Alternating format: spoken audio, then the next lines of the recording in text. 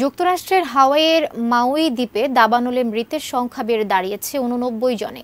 আশ্রয় কেন্দ্রগুলোতে আশ্রয় নেওয়া মানুষের সংখ্যা চোদ্দশো ছাড়িয়েছে। কেন্দ্রীয় জরুরি ব্যবস্থাপনা বিষয়ক কর্মকর্তা জেরেমি গ্রিন্সবার্গ জানান এখনও কোনো খোঁজ পাওয়া যাচ্ছে না এক হাজার অধিবাসীর।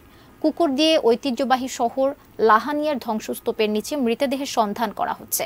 এই অভিযানে যোগ দেবে আরও কুকুর। আগুন নিয়ন্ত্রণে আসলেও কিছু কিছু জায়গায় এখনও আগুন জ্বলছে।